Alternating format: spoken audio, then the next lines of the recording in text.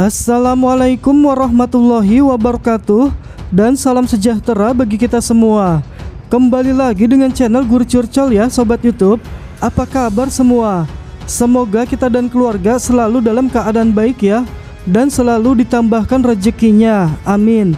Baik Sobat Youtube pada kesempatan kali ini Saya akan berbagi informasi mengenai PKH hari ini Atau info PKH hari ini Yaitu Siap-siap bagi para penerima manfaat PKH dan BPNT akan ada bantuan tambahan uang tunai senilai 1 juta rupiah yang bisa diterima oleh kalian para KPM PKH dan BPNT ketika besok pencairan bantuan PKH tahap yang ketiga apabila sudah mulai dicairkan. Nah, seperti apa informasi selengkapnya? Mari simak video ini sampai selesai supaya tidak menimbulkan gagal paham. Namun sebelum lanjut, mari kita berteman terlebih dahulu dengan cara klik tombol subscribe, like dan nyalakan loncengnya supaya Anda terus dapat informasi terbaru dari channel ini. Baik kita lanjutkan info PKH hari ini selanjutnya penting untuk diketahui para KPM PKH dan BPNT bahwasanya akan ada bantuan tambahan uang tunai senilai 1 juta rupiah yang bisa diterima oleh para KPM PKH maupun BPNT ketika besok pencairan bantuan PKH tahap yang ketiga apabila sudah mulai dicairkan. Bagi keluarga penerima manfaat PKH dan BPNT terkait pencairan bantuan PKH tahap yang ketiga pada pertengahan tahun 2022 ini yang sebentar lagi proses pencairannya akan segera dicairkan kepada KPM yang sudah cair bantuannya di tahap kedua kemarin yang bisa diterima oleh penerima manfaat PKH dan BPNT. Nah, kira-kira kategori KPM PKH dan BPNT yang seperti apa? Yang beruntung sekali akan mendapatkan bantuan tambahan uang tunai senilai 1 juta rupiah tersebut.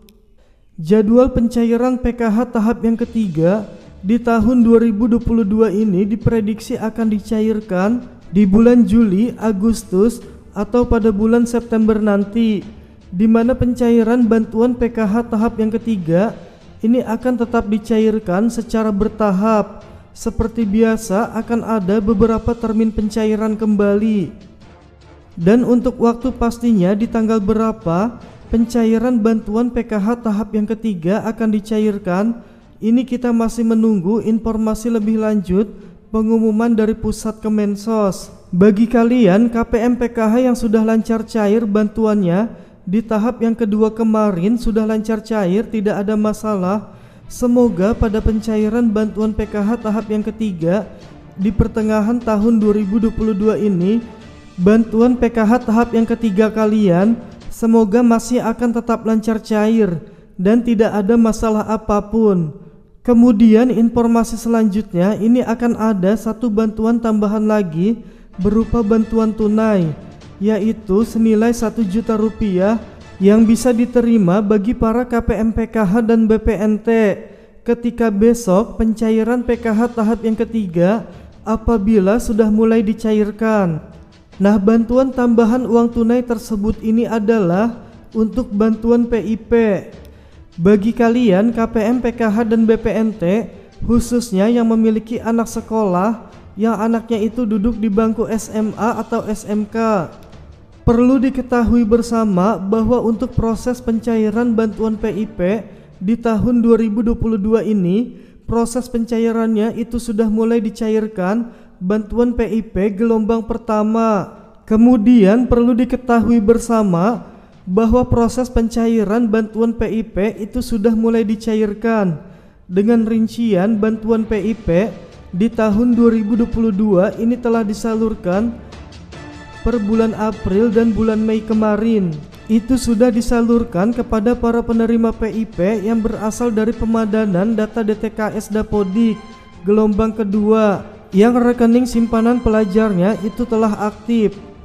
ada sebanyak 2.413.713 peserta didik yang telah cair bantuan PIP-nya di bulan April dan bulan Mei kemarin. Bagi kalian KPM PKH dan BPNT yang mempunyai anak sekolah yang anaknya sudah masuk SK nominasi dan SK pemberian pencairan bantuan PIP namun belum cair bantuan PIP-nya di tahun 2022 ini, siap-siap saya doakan Semoga dalam waktu dekat di awal bulan Juni sekarang ini atau di pencairan PKH tahap 3 2022 saya doakan semoga bantuan PIP anak sekolah kalian semoga segera menyusul cair. Karena proses pencairan bantuan PIP ini dilakukan secara bertahap.